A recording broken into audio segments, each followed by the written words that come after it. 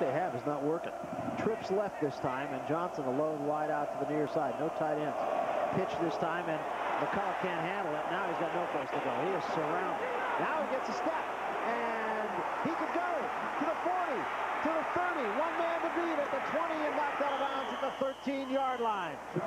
44 yards on a play that looked absolutely busted.